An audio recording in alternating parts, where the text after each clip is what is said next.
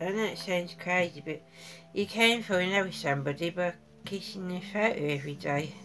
That's what I did. I got close to Zayne. I watched him, way he moved, the way he danced. I loved the tone of his voice. I fell in love with everything about him. And I got I got involved that way. You can fall in love without touching somebody. You can just fall in love with them. The way they talk, the way they they laugh, the, the own smile, his smile, the way he smiled, the way he talked, the way he dances, the way he moves, and also the things he believes in. And he wanted to be cremated as a Black Panther if he was in cremation. I remember quite a lot of things about him. I loved everything about him. I couldn't help it. I fell in love with this guy and I got so sad because I know I'm older than him. He didn't want to marry a young woman at 21. He said he's too young.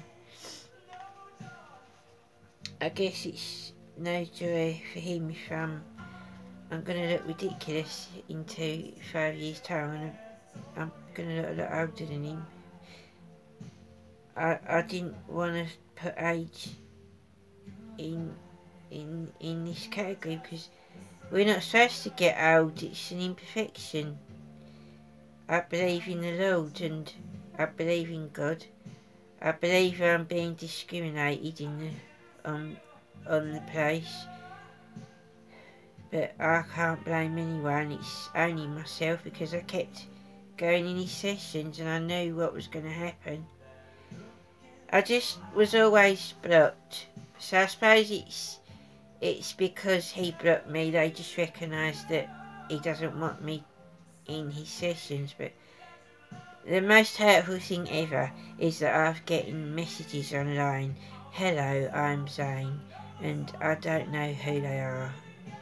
I'm not sure because when one person asked for money, I knew that was a scam. But it is hurtful because I always wished that he was going to talk to me, contact me. That's why it's hurtful. So, I listened to George Michael one more try. It, it, it's a nice song. Because I should let him go. And I, I can't seem to find myself doing it. I tried to move on, but I just couldn't. I can't feel it with any other guy. He's the only other, he's the only man I love.